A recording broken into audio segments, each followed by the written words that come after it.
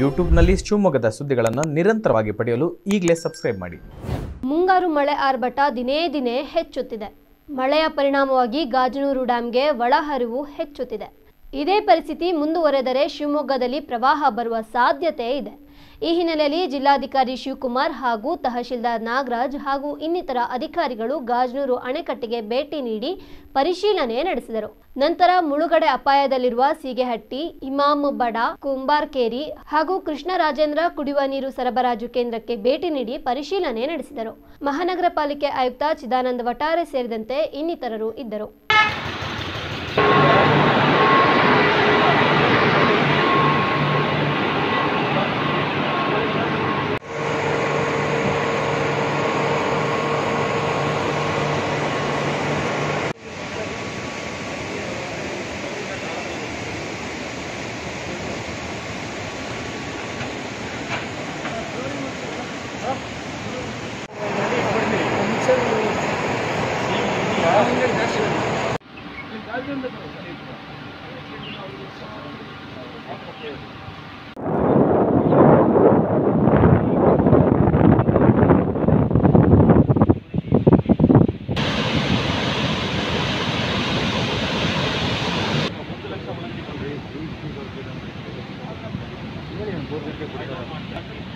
total ನಿಮಗೆ five seventy